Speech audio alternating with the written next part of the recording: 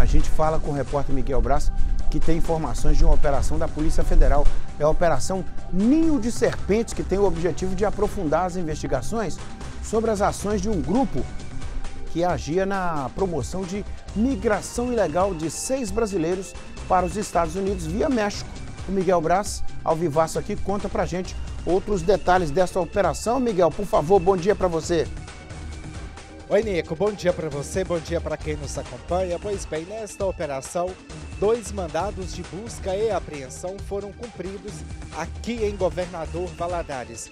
Essas ações são desdobramentos do caso dos seis brasileiros, daqui de seis mineiros de Governador Valadares e Teófilo Otoni que foram agredidos no México. Ainda de acordo com a Polícia Federal, um brasileiro foi detido pelas autoridades norte-americanas. Isso porque ele é o principal suspeito de promover a migração ilegal dos seis turistas mineiros agredidos em Cancún. Além disso, também a Polícia Federal informou que essa pessoa que foi presa nos Estados Unidos tinha ajuda de pessoas aqui do Brasil para receber e também promover todos os recursos dos migrantes para a travessia do México para os Estados Unidos. Em relação à agressão contra os turistas, foi precisamente no dia 21 de maio. Os turistas desembarcaram em um aeroporto de Cancún e ao pegarem um carro de aplicativo foram abordados e agredidos. Eles foram sequestrados, na verdade, foram mantidos reféns por pelo menos 12 horas, tiveram os pertences roubados.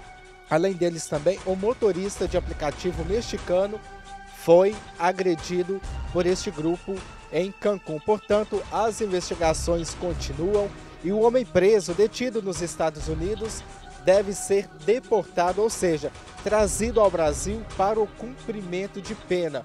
No caso, tanto ele quanto os demais envolvidos vão responder pelo crime de promoção de imigração ilegal para os Estados Unidos. No entanto, as investigações da Polícia Federal continuam, Nico.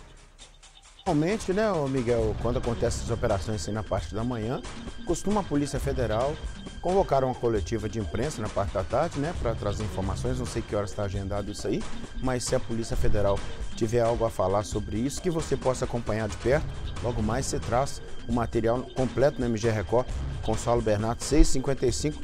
E esse caso que você narrou aí, dessas.